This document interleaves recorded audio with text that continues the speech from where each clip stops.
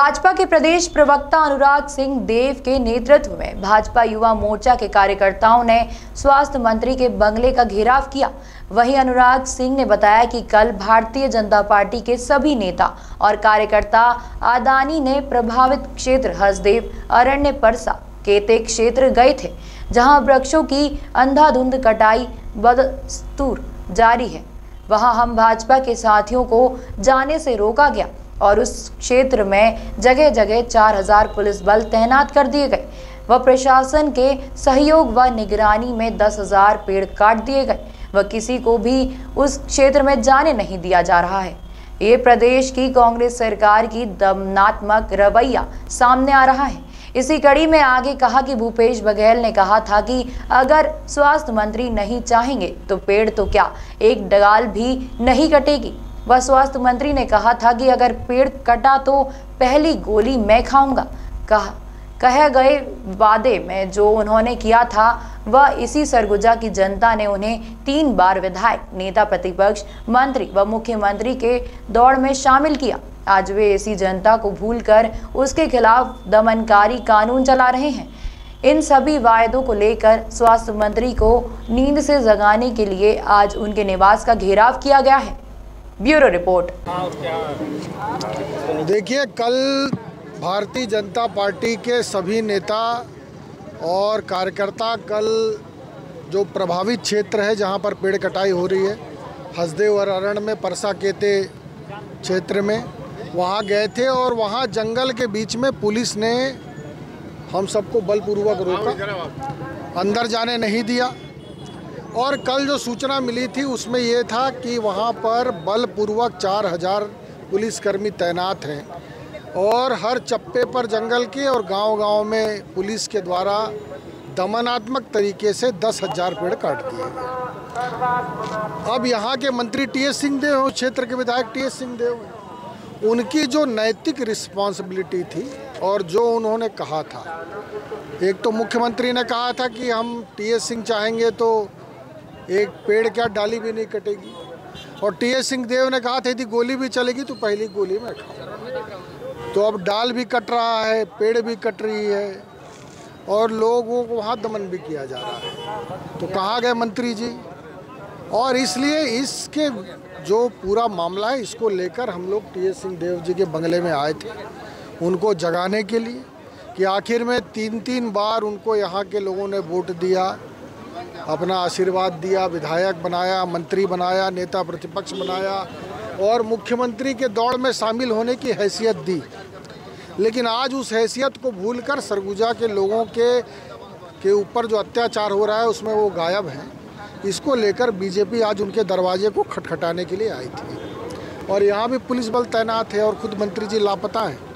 तो अब यहाँ से हम लोग वापस जा रहे कहा था कि जब भी गोली चलेगी उन्होंने अब जिसके लिए भी कहा हो, पुलिस प्रशासन या जो भी गोली चलाएगा तो पहली गोली मैं खाऊँगा। यदि जंगल कटेगा तो। तो उस गोली का समय तो अब आ गया। वहाँ चार हज़ार पुलिस वाले गोली चलाने के लिए तैयार हैं। तो आप आइए सामने। नहीं, विपक्ष तो सरकार में रहने वाले जब गोली चलवा रहे हैं, हम लोगों ने तो मांग की है कि चार हज़ार पुलिस वाले उदयपुर क्षेत्र से हटा लिए जाए, जहाँ पर कट कट रहा है। वन हमला जो छत्तीसगढ़ सरकार का है भूपेश बघेल का उसको वहाँ से हटा लिया जाए। पेड़ कटना अपने आप बंद हो जाएगा। देश विज्ञप्ति जारी किया था कांग्रेस ने कल उसको लेकर क्या कहेंगे आप? देखिए विज्ञप्ति जारी करने से नहीं होगा। ग्राउंड ज़ीरो पर जो अत्याचार हो रहा है वो भूपेश बघेल के पुलिस और भूपेश बघेल के प्रशासनिक अमले और भूपेश बघेल के फॉरेस्ट डिपार्टमेंट के लोगों के मौजूदगी में हो रहा है। और ये सरकार चाहे तो इसको तुरंत रोक सकती है। कांग्रेस तो बताना ये है सर बीजेपी के कार्यकर्ता घेराव करने आते हैं किस प्रकार की सुरक्षा थी किस प्रकार क्या वही सूचना मिली थी कि माननीय मंत्री जी टी एस सिंहदेव जी के निवास का घेराव आज किया जाएगा। तो उनके निवास के बाहर हमने आज पर्याप्त सुरक्षा व्यवस्था रखी थी और हमने सभी को निवास के बाहर ही रोक लिया किसी को अंदर नहीं जाने दिया। क्या इनकी क्या मांग है क्या देखिए आज सीधे मुझसे कोई बातचीत नहीं हुई है।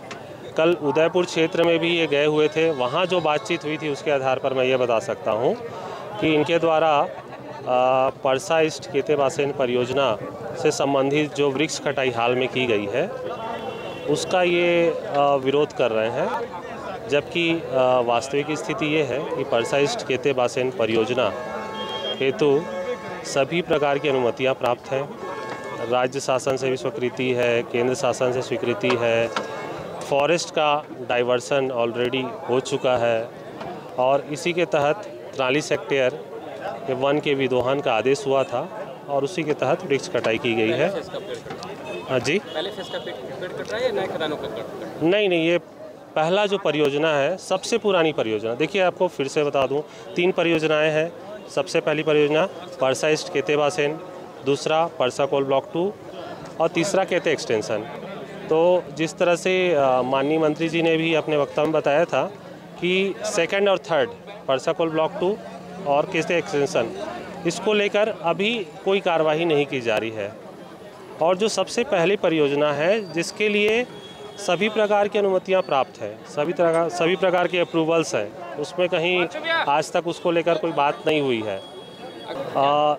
देखिए कुछ लोगों के द्वारा भ्रम फैलाया गया है, उसके चलते ये विरोध हो सकता है, और हम उसी भ्रम को दूर करने का प्रयास कर रहे हैं। जो भी जिनको भी गलत फहमियाँ हम उसे दूर करने का प्रयास कर रहे हैं, विशेषकर अभी हम जो कोल ब्लॉक क्षेत्र है, उन गाँव में भी जाकर लोगों को वस्तु स्थिति से अवगत करा रहे हैं। हम की स्थिति है, इसके कारण कुछ लोग विरोध करते हैं। और देखिए, पेड़ कटाई के दौरान यदि कोई अचानक वहाँ पहुँच जाए और विरोध करने लगे और यदि पेड़ गिरने से किसी को चोट पहुँच सकती है तो ऐसी स्थिति से निपटने के लिए कोई भी असुरक्षित ढंग से जहाँ जिस साइट पर पेड़ काटा जा रहा है, वहाँ ना पहुँच के, वहाँ पहुँच ना जाए, इसलिए सुरक्षा व्यवस्था रखी गई थी ताकि किसी को चोट ना पहुँचे, किसी को हानि ना पहुँचे।